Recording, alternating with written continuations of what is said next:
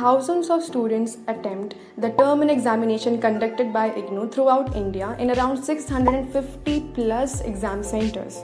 In today's video, we are going to talk about two important questions how to present and prepare this paper and how to write that paper. तो जैसे कि आप confuse है वैसे बहुत सारे students भी कंफ्यूज रहे कि हम इसे पे, इस पेपर में कैसे अच्छा मार्क्स ला सकें कैसे हम 80 टू 90 परसेंट स्कोर कर सकें so in today's video we are going to answer this question so keep watching The brain game till the end.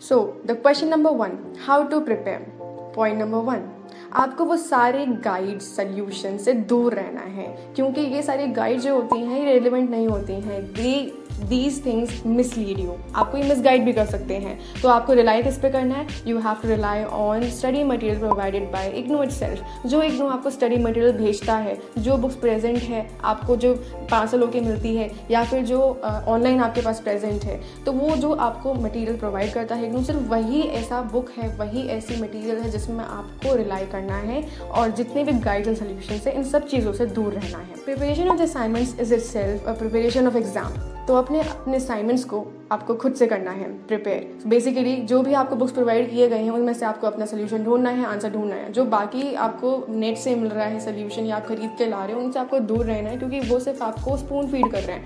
आपको ये चीज़ खुद से करनी है. इससे क्या हो रहा है आप अपने आप को प्रिपेयर कर रहे हो एग्ज़ाम के लिए राइट सो यहाँ पे दो चीज़ें हो रही हैं. एक तो आपका अच्छे से प्रिपेयर हो जाएगा असाइनमेंट एंड ऑल्सो कि आप एग्ज़ाम के लिए भी तैयारी कर रहे हो और साथ साथ यहाँ पे दोनों में आपको अच्छे मार्क्स मिल सकते हैं. सो so, ट्राई कि आप अपने असाइनमेंट्स को खुद से प्रिपेयर करें.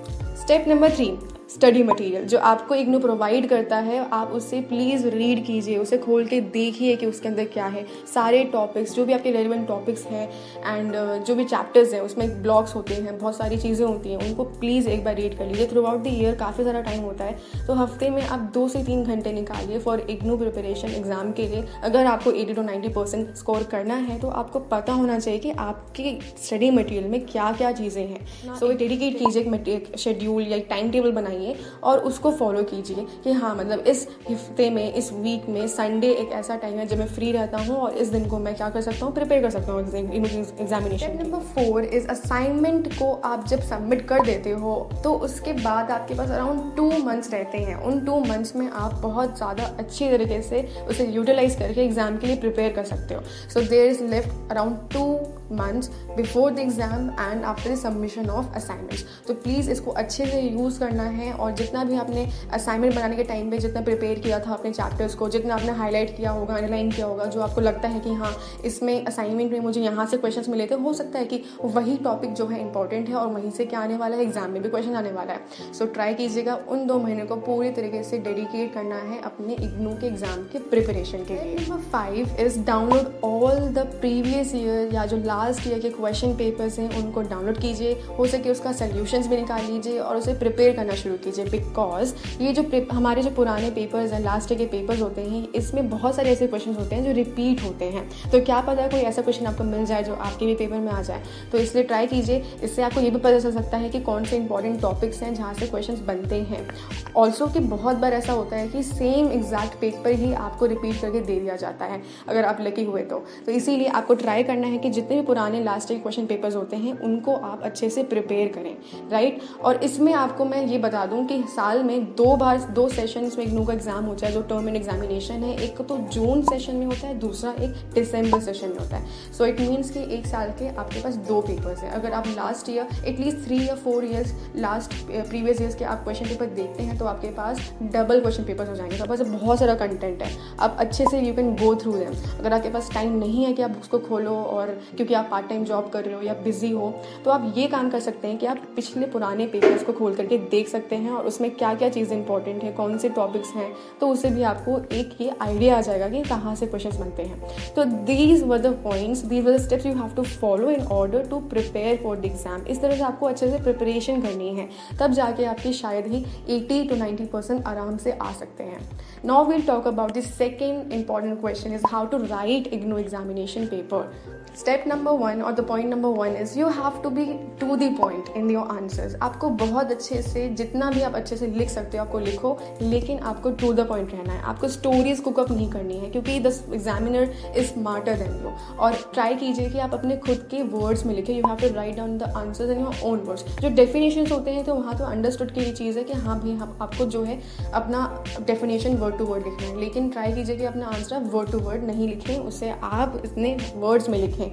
ठीक है इससे क्या होगा, एक आपका, आप एक इम्पैक्ट क्रिएट करते हो अपने एग्जामिनर के ऊपर कि आपको कॉन्सेप्ट समझ आया इसलिए आप उसी जो आपने, जिसमें जैसे आपने समझा, आप उसी कॉन्सेप्ट को अपने ही तरीके से उसे समझा रहे हो।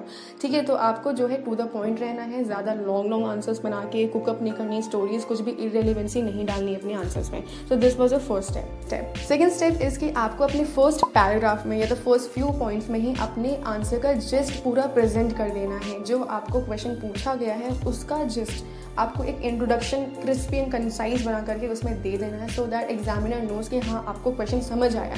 And then start writing building up the answer basically and start writing into points ठीक है, आप हर एक पॉइंट को एक हेडिंग दीजिए, और हेडिंग देने के बाद फिर उसे एक्सप्लेन कीजिए। नेक्स्ट पॉइंट उतारिए, उसको ही हेडिंग दीजिए देन उसको एक्सप्लेन कीजिए। इस तरह से आप अच्छे से प्रेजेंट कर रहे हैं अपने आंसर को, और एग्जामिनर को भी समझ आएगा दैट आपको आंसर समझ आया है एंड ये एक तरीका का प्रेजेंटेशन है, जो कि हम एक और पॉइंट में बात करेंगे इसकी।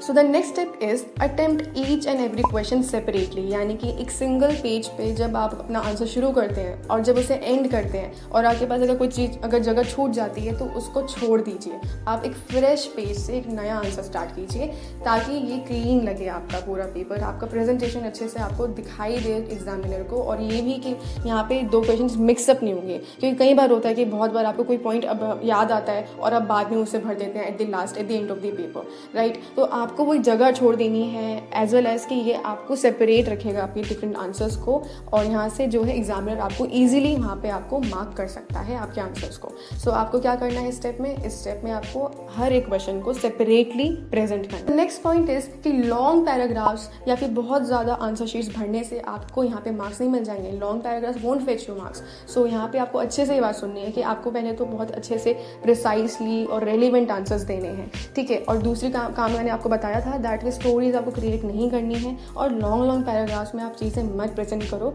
और पॉइंट्स में इसको आप दिखाना शुरू यहीं पे आ जाता है ये क्वेश्चन कि हम कितने वर्ड्स लिखें? दस मार्क्स के लिए, बारह मार्क्स के लिए, बीस मार्क्स के लिए। So it all depends on your course ठीक है? अगर आपका क्वेश्चन आ जाता है फॉर टेन मार्क्स तो write it down around three hundred words ठीक है? आपको ज़्यादा से ज़्यादा, देखो, एक पेज में हंड्रेड वर्ड्स आ जाते हैं एटलीस्ट ठीक है? तो आपको उसके अकॉर्डिंगली अपने पेजेस को फिल करना है। अगर आपको हंड्रेड वर्ड्स बनाने हैं तो एक पेज फिल कीजिए।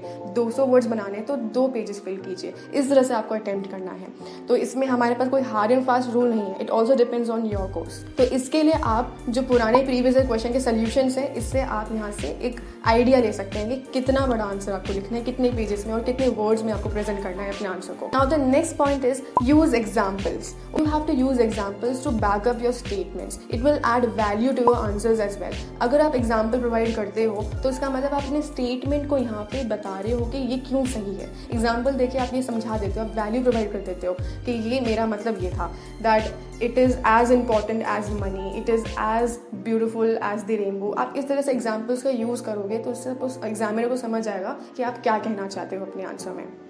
So use different examples and also fill up those answers ठीक है? उसमें एग्ज़ाम्पल प्रोवाइड करके आप बहुत ज़्यादा रिलेवेंट बना देते हैं। एंड लास्ट पॉइंट इज़ कि बी नीट एंड क्लीन और अच्छा प्रेजेंटेशन आपको देना है अपने एग्ज़ाम पेपर में। जितना हो सके अच्छे से लिखिए। इसको आप प्रैक्टिस कीजिए। ब्लैंक पेज उठाइए और उसमें प्रैक्टिस करना शुरू कर दीजिए। एक क्वेश्चन उठाइए ठीक है? पुराने प्रीवियस ईयर क्वेश्चन पेपर उठा लो या जो सैंपल क्वेश्चन पेपर होंगे उनका जो है कम से कम उसमें आप प्रैक्टिस करना शुरू करो। इससे क्या होगा कि आपको पता रहेगा कि आपको अपने एग्ज़ाम में कैसे लिखना है।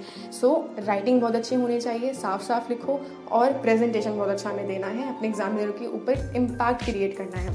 अगर आप ये सारे पॉइंट्स अगर फॉलो करते हैं तो you will definitely get 80 to 90 percent in your paper so I hope ये आपको सबको समझ आया है और अगर अभी भी कोई आपको कन्फ्यूज़न है तो feel free to ask in comment stand below and thank you so much for watching the Brain Gain please don't forget to like subscribe and share the video